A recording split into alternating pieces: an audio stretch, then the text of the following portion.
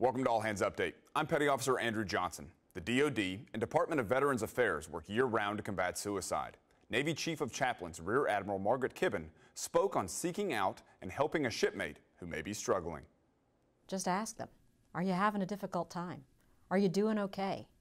It's really a matter of breaking the silence and reaching out to them to ensure that they realize that they're not alone. I think what often happens when people are actually contemplating suicide is that they feel like there's nobody who would listen. But if you notice that, if you notice that something's going on with somebody and all you do is simply ask the question, "Hey, how you doing today?" But listen, really listen to what's going on, then that person realizes that they aren't in this all by themselves and they do have somebody that they can ask for help.